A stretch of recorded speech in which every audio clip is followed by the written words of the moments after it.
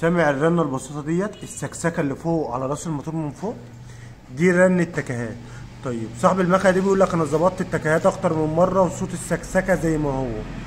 تعالى كده بقى أما أوريك أما أحل الوش ده وأرفع الوش ده هيبقى فيه إيه.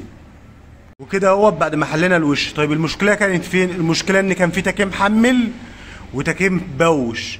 البوش بتاعه أو الخلوص بتاعه كان زيادة. طيب عملنا إيه؟ ظبطناهم على ال feeler.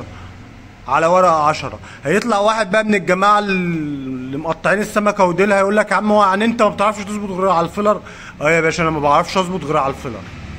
أنا لسه بتعلم معلش. ال feeler ده يعتبر الميزان اللي بقدر اظبط عليه التكايه الاتنين. لو محملين هيعملوا مشكلة ان المكنه تسخن وما توقفش صلانسيه ولو مبوشين هتسمعوا صوت السكسكة اللي إحنا كنا سامعينها دي.